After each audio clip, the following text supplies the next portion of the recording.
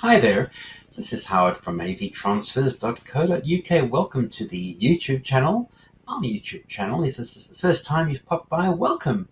And if uh, you've been here before, thanks for sticking with us. If you like what you see, please consider subscribing and uh, we'll be happy to show you lots more interesting things as time goes on. Today we're going to take a look at the Akai AVU8 amplifier, an integrated audiovisual amplifier back from the mid-1980s, I believe. This is something close to my heart because uh, when I was 13, I bought one of these as uh, a present for my birthday, my 13th birthday, and uh, I was very excited to have it because small televisions, compact televisions, handheld televisions were just a thing of imagination. When I was in South Africa, they were very restricted and unavailable unless uh, you went overseas. So uh, when I saw this television, especially when it went on to uh, discount price, I grabbed it. I spent every last cent I had to get one of these. And uh, as the years grew on, passed on, um, I'd lost track of where it went. I think I sold it or something like that. And uh, I thought I would rekindle that fire and find one online and show it to you. So stick around. Let's take a look what we find.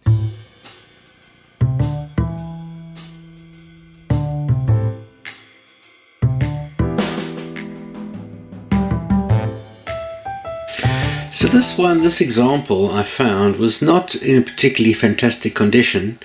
Um, a pretty much a lousy picture, but uh, I have a fond memory of the silver version of this. Um, and this one has got a very marked worn out power knob, so I didn't know what to make with that. But I just took a punt. You can see it's very dirty. There's a lot of tobacco glaze on it. Um, you can see the, how filthy it is here. Um, really not a pretty example at all. And um, you can see a lot of grossness. So I didn't know what to think. And um, I just took a punt on it. I really did. Um, it looks it looks like it's all there. Um, but there's no indication beyond that what's going on with it. Um, what was interesting, it had an, it had an English description, and uh, or maybe it's just translated it already. But what was interesting about it was it said a couple of useful things, which was um, power confirmed, so it does power up, and uh, treated as junk. Okay, fine, I get that. So uh, I took a I took a punt, and for the measly sum of twenty one pounds, I got that. I won that auction. So I paid for it, and uh, it came along on the water. Um, I shipped it to the UK with an economy service, so I, I just went el cheapo. Normally I get like special, you know, packaging, and I thought, you know, for 20 bucks, I'm just going to go cheap. So the insurance in total came to 40, 45 pounds, uh, including the shipping. So we're looking at a total of about 65 pounds. Now, that's not bad. That's with um, economy FedEx to the UK. So it's not as good as the other uh, systems, uh, FedEx options and DHL and whatnot. But I thought I'll just take a punt. So this came along and uh, it was pretty gross, to be honest. It was so gross, in fact, I was in a lot of suspicion that there was a lot of um, cockroaches and things, in which case I would just literally you know, abandon the project because there's certain things I just won't touch. But I thought, let me take it outside and open it up. And I opened it up to discover it was not cockroaches or anything disgusting. It was just purely tobacco glaze. The machine inside was covered in a layer of carbon, like I don't know what from. It's either been on the whole time or it was smoked around, but the, the, the tobacco on the front of the machine was so thick you couldn't even wipe it off with your finger. So I stripped it apart and uh, I put the top cover and the bottom cover in the dishwasher and uh, they came out beautifully. So I decided to continue with the project and so we're going to take a look at this uh, this cleanup and uh, restoration. So stay tuned. So here we're taking a look at the uh, process. Uh, this is after I've actually stripped the machine down to its bare minimum and uh, basically the sub chassis and the top chassis I've run through the dishwasher and uh, cleaned man manually cleaned out the boards and used switch cleaner on the uh, controls and here I am sort of slowly putting things back together. I've had to soak the buttons in soapy water for about a day and then still rub them off, clean them off by hand because it was just in such a bad state. So it's looking a lot better now. Um, just having a look there, I'm working with gloves because there's still a bit of gross stuff all over it. And uh, just trying to find all the screws that I've misplaced or, or uh, misused in the process. And uh, it's a little bit of hit and miss with that but not too bad.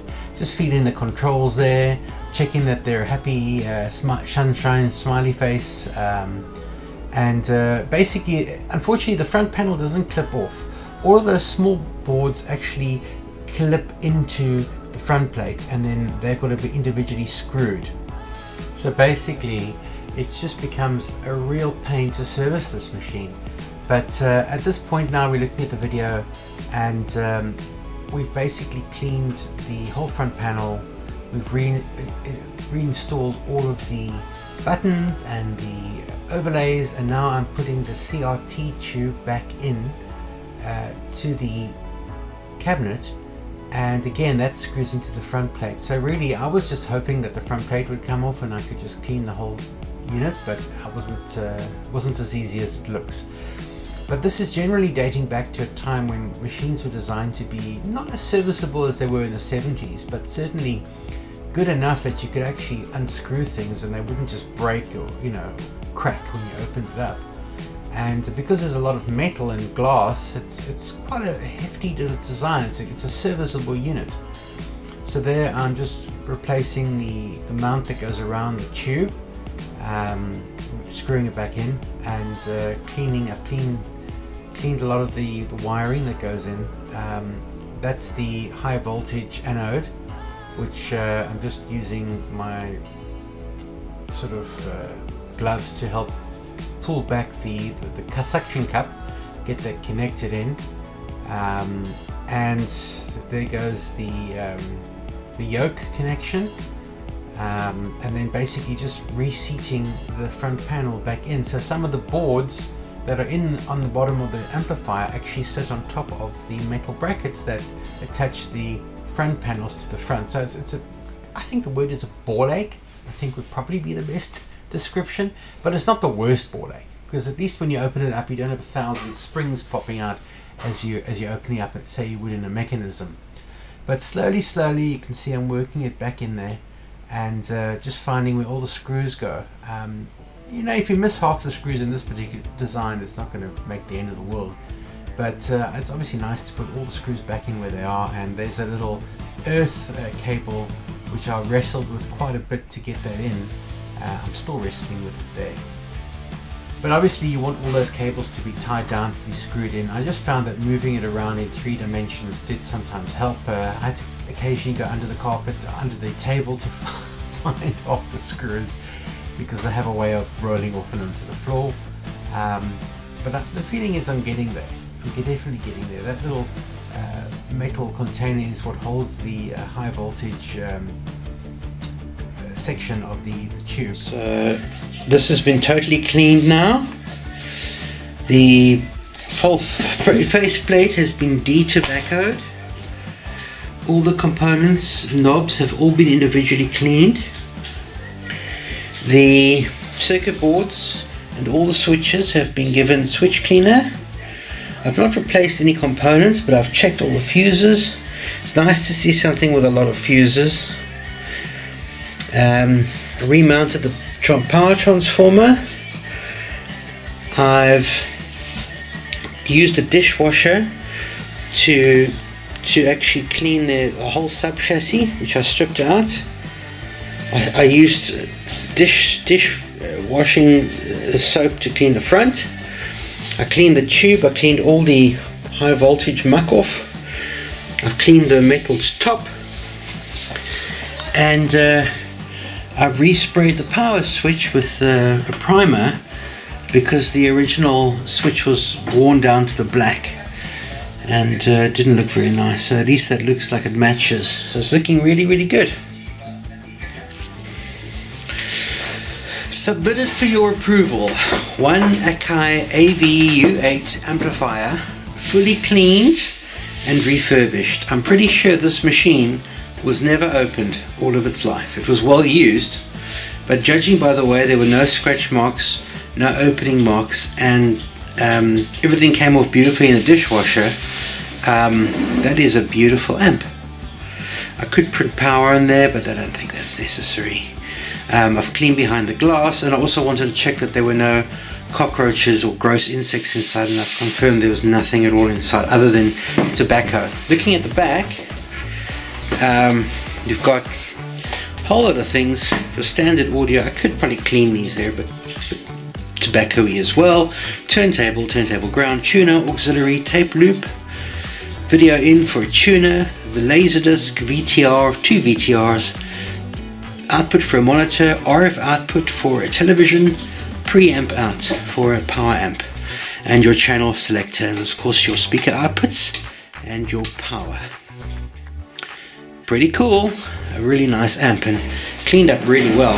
In fact, um, it's just it's just it feels like it's actually new because of the fact it went to the dishwasher.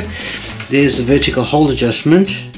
So if that is out we can adjust it there which I suspect it well, well might be. But for now that's a pretty cool amp. Well I hope you enjoyed that rather misguided and uh, wasted afternoon with me fixing the Akai AV-U8 which is now proudly in my NTSC rack why NTSC rack? Well even though the monitor does uh, work on PAL and NTSC if you set the horizontal hold somewhere in the sweet spot between them. It is mainly an NTSC model. I do have the PAL version as well with the PAL modulator. This has got the NTSC modulator and uh, it's running on 100 volts. And I've got a lot of other machines here which are NTSC 100 volt Japanese machines. The SL200D, which is the last of the Betamaxes, I believe, uh, which has auto tracking. Another machine that I refurbished, which I didn't do a video on, but a very plasticky machine. But the only machine with auto tracking, um, there's an HF 950. It's the only odd odd duckling in the uh, pile because that's a PAL one, but it just happens to be where I put it. Um, there's the SL 2100, a nice machine as well. An SL, sorry, an EDV 8000 and a whole lot of other NTSC machines. Um, the video stabilizer I did a video on some time ago. Um, an NTSC um, for a, a time-based corrector and of course the big one inch uh, VTR there which is uh, feeding into SDI via the uh, time-based correctors and into a Blackmagic recorder. A real NTSC explosion happening here. But let's have a look at the Akai. Thanks for watching. And if you like this kind of stuff, please consider subscribing. Howard, that's my name avtransfers.co.uk, just another Michiganer out there. Thanks for watching. Adios. Just a bit of fun on a Saturday afternoon.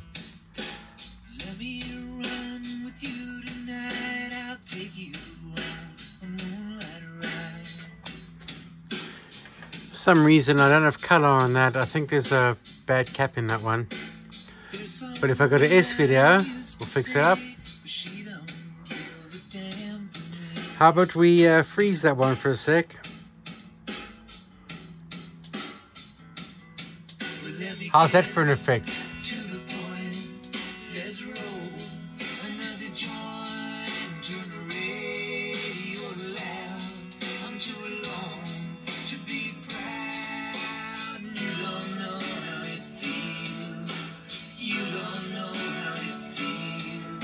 I like these amps, these are cool.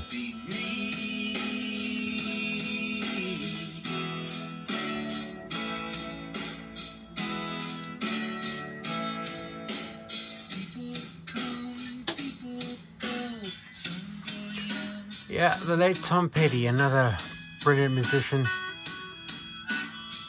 Mind you, the tint on this is quite horrible, eh? You can just, you can't just match, you just can't match Sony color and JVC color. There's just no comparison. They're both good. It's very hard to match the color.